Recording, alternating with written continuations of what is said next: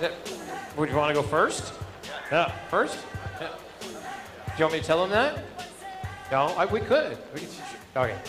But as you know, Robert is our fantastic MC. He wanted me to tell you guys. Some of you folks in the audience don't know this. Um, we have more men than ladies. When that happens in a Jack and Jill like that, all the ladies go back in the pot afterwards, and one or two or three ladies have to dance twice. That's why we just saw Nicole dance twice. Give it up for Nicole. Good job, Nicole. And this young lady has to dance twice as well. Sarah Vann Drake.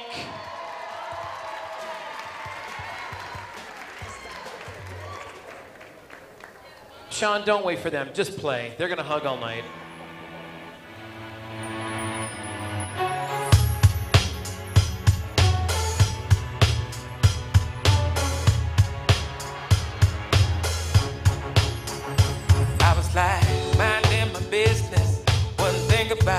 Striking up no conversation.